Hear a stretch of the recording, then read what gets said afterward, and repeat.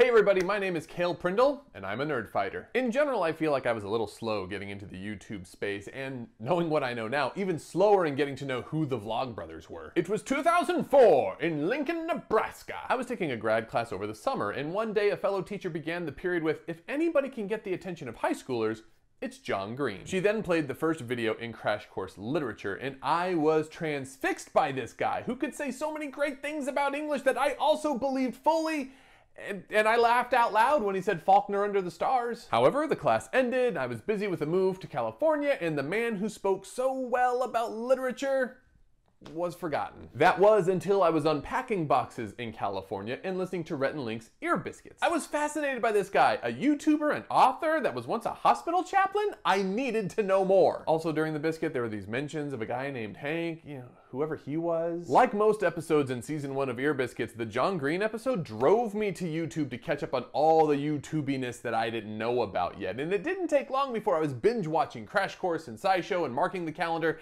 for every Tuesday and Friday. The influence of John and Hank Green is everywhere in my life at this point. Like as a high school English teacher, I frequently pull from Crash Course Literature and US History. And pretty much every year I show the Fahrenheit 451 videos from the Vlogbrothers channel. But more than that, when I stop to consider what Nerdfighteria has done for me, I ultimately return to trying to not forget to be awesome. So when I first heard the Vlogbrother catchphrase or call to action or whatever you want to call it, I thought of it as just kind of an amusing internet-like thing to say. But the more engaged I became with Nerdfighteria, the more profound the phrase became. Being awesome wasn't just something I did for myself.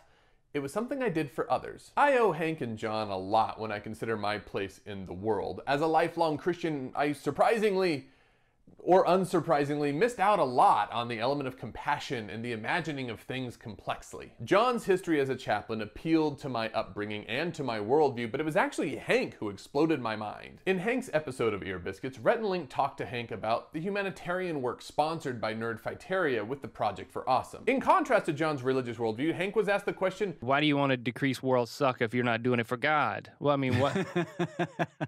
I, found, I find that question very funny. So who are you doing it for? uh, the people who are suffering. I was raised in a simplistic view of the world, a world that included good, godly people, and then everybody else. And in one fell swoop, Hank dismantled a misunderstanding and prejudice I'd been wired with. Apparently, people who didn't believe in God could also be good people.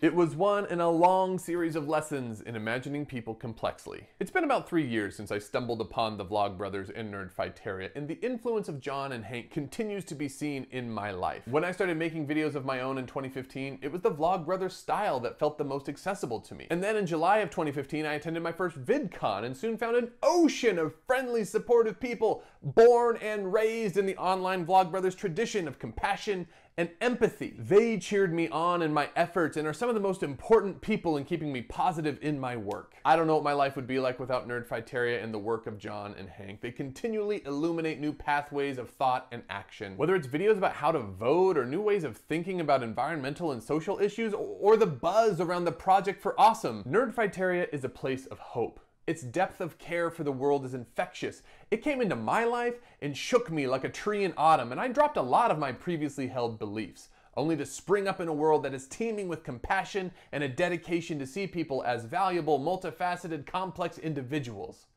And for that, I am appreciative. DFTBA, everyone.